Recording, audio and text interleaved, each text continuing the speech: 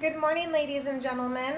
We are on page 151, and this video is going to cover lesson four, lesson five, and lesson six. So we're going to be doing all of those lessons together, just like we've done in our last video. Okay, um, so our goal or our objective today is today I will understand that positive and negative numbers are used together to describe quantities, which is amounts. And I'm going to go down here like I had to on the last one because it's such a long one. So quantities having opposite directions or values. Okay, so just like in our last video, the most important part of this is we're going to be talking about positive and negative numbers, which are what we call rational numbers, and we're going to be talking about the opposite values of those numbers. Okay, so in our last one, we talked about elevation compared to sea level and temperature compared to zero degrees. Today we're going to be doing something similar, but we're going to be talking about credit and debits. Okay, credit and debits could be in a bank account, so it could be like credit and debits with money. Um, it could be about like points or game credits.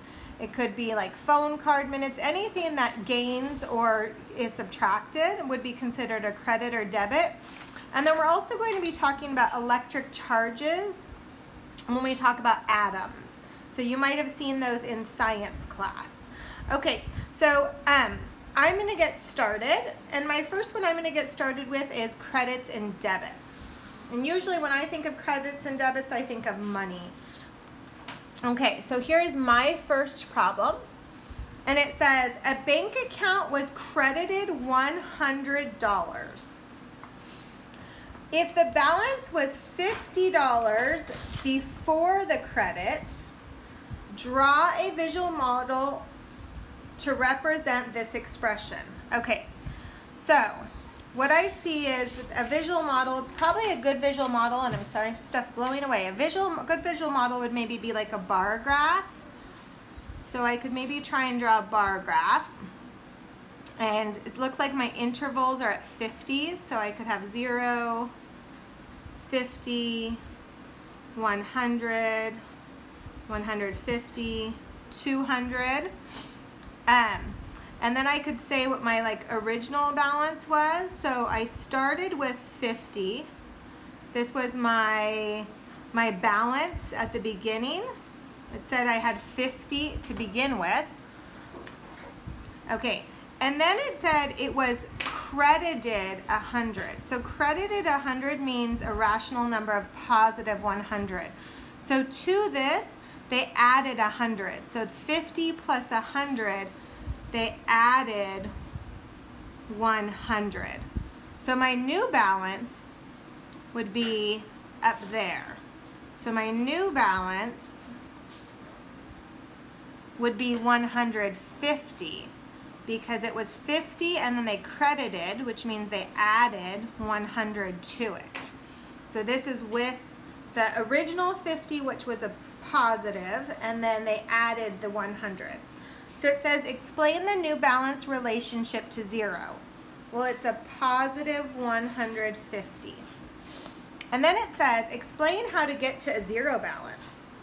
Well, if I have positive $150 in my bank account and to get to zero, I would have to subtract 150. I would have to take all of it away to get to a zero. Okay, let's look at our next one. I used 30 megabytes of my prepaid data plan. Okay, if I use something that is a negative. So that would be a negative 30. They don't say I want to need to draw a model here, so I'll just leave it as a negative 30. Then it says, how would the rational number change if 30 megabytes were added to my plan instead of subtracted? Well, that would have been a positive 30 megabytes to my plan instead of a mm-hmm. negative. Okay, so we're gonna try some of these together, some of these positive and negative credits. So we are on page 156, so 156, and here's our first problem. It says, Joey's arcade game was debited 83 points. A debit is a negative, it's a takeaway. So that would be a negative 83. How would the rational number change if 83 points were credited to Joey's arcade game instead of debited? Well, a credit is a positive 83. So that would be positive 83. Okay, let's look at number two. Sheila was debited 30 minutes of her computer time because she didn't do her chores. If she is allowed a half hour of computer time every day, draw a visual model to represent this expression. Okay, so we can maybe draw like another bar graph and we could draw it in 30 minute intervals because that's what they're talking about. So this is, so it says she's allowed a half hour. So that's like her allowance of time. So she's allowed 30 minutes of time. But then she was debited. Debited is a takeaway. So they actually took away the 30 minutes, which means what did she have left? Well, if they took this away, she would have nothing left. So if she had 30, but they took away her 30, she would have nothing left because that's all she had. So explain how the new amount of computer time relates to zero. It is equal to zero. She has nothing left because she lost all that she had. Okay, so that is some credits and debits. We're also going to look at some positive and negatives in regards to atoms. So here's my first one. It says, what is the overall charge of a group of five protons and no electrons? Okay, so if you look back, I did not go over your vocabulary with you, but it's listed here. And it talks about that a proton is positive and an um, electron is negative. So I'm going to use this to help me, and if you need to go back to this, you're welcome to as well. So what is the overall charge of a group with five protons and no electrons?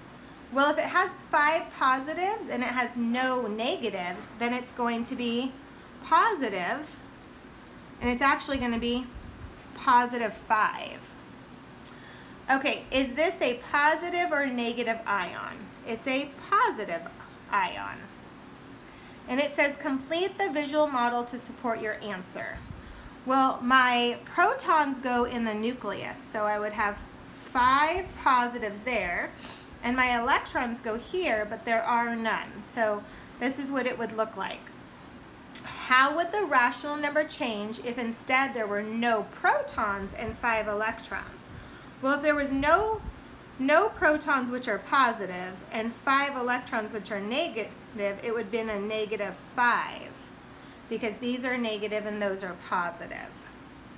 Okay, let's look at another one. What is the overall charge of a group with six electrons, electrons are negative, and no protons which are positive? Well, it would be negative six. Is this a positive or negative ion? It would be a negative. And it says complete the visual model to support it. So there's no protons. Protons go in the nucleus, but there's six electrons which are negative. So one, two, three, four, five, and six. So that would be a negative, a negatively charged atom. Okay, we're gonna try some of these together and we are on page 164. If you can turn to page 164 with me. Okay, so our first one says, what is the overall charge of a group with four protons, so four positives and four negatives?